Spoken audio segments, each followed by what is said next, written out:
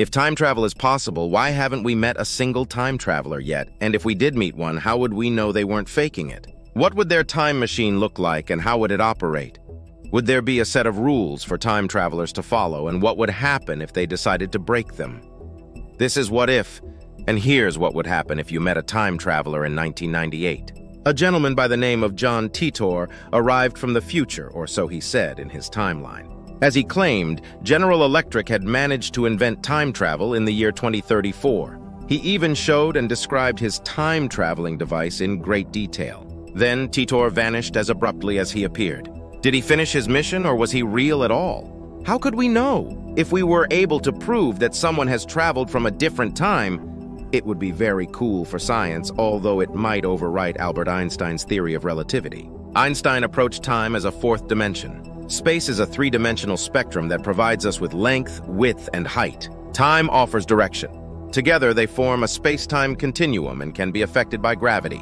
According to Einstein's theory of relativity, gravity is a curve in space-time. Technically, because space and time are one, gravity could bend time as well as space. However, you'd need something really, really big to notice any changes in the movement of time. For example, if you somehow managed to get yourself close to a black hole like Sagittarius A, you'd be experiencing time at half speed compared to people on Earth.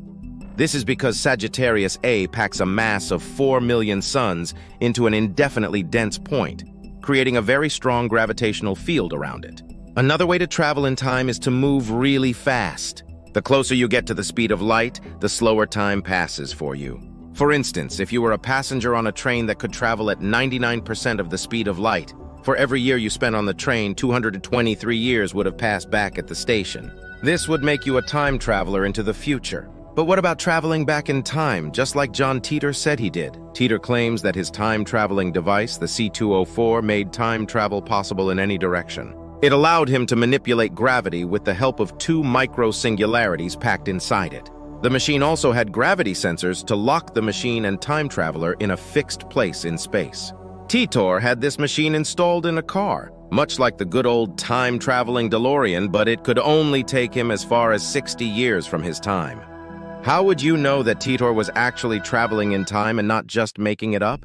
Proving that someone is a time traveler might be even harder than time travel itself. Time travelers could make predictions about the future, show their futuristic technology, or even undergo genetic testing to support their story. Perhaps the best way to prove time travel is real would be to take you with them on their next adventure. Of course, there are easier ways to prove the possibility of time travel. In 2009, the world-famous theoretical physicist Stephen Hawking threw a party to which only future time travelers were invited. Hawking didn't send off invitations until after the party, believing that if travelers from the future arrived before the invitations were released, that would prove time travel will become possible one day.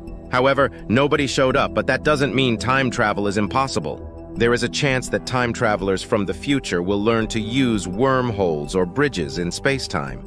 Although we haven't seen one yet, the theory of general relativity predicts their existence.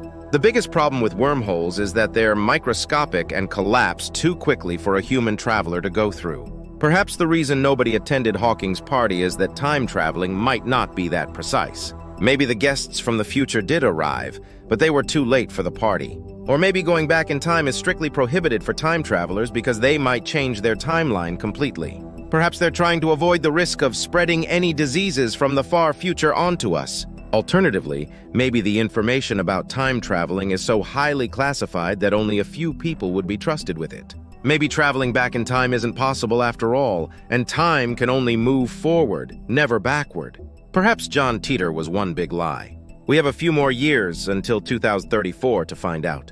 In a way, we already have time travelers in our lifetime. Astronauts on the International Space Station are moving at 8 kilometers per second, which makes them age slower. Although the difference is measured in hundreds of a second, if you're listening, you're invited to a reception for time travelers hosted by Stephen Hawking.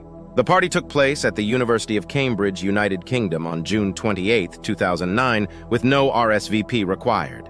And hey, if you have a chance to jump in a spaceship and enjoy the time-traveling effects of a black hole, do it. Just make sure not to fall into that gravitational monster. But that's a story for another video.